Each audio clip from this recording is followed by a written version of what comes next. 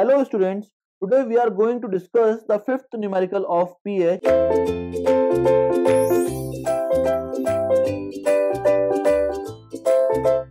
Question will be given as pH of sample 1 is 3.5 and pH of sample 2 is 7.5.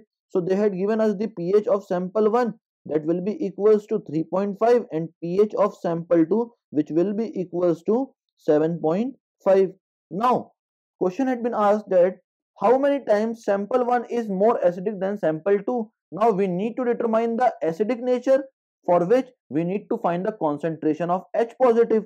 So we know the formula of pH which will be equals to minus log with base 10 concentration of H positive ion. Okay.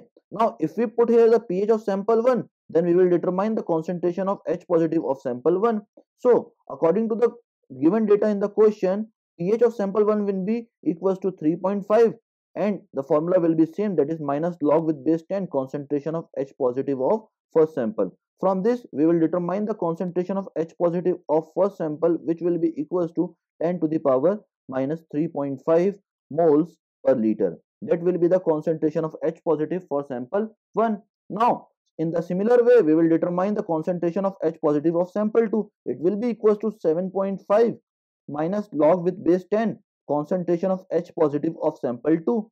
From this formula, concentration of H positive of sample 2 comes out as 10 to the power minus 7.5 moles per liter.